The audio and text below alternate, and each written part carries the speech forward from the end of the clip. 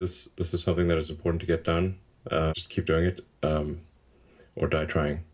And I I don't care about optimism or pessimism. Fuck that. We're gonna get it done.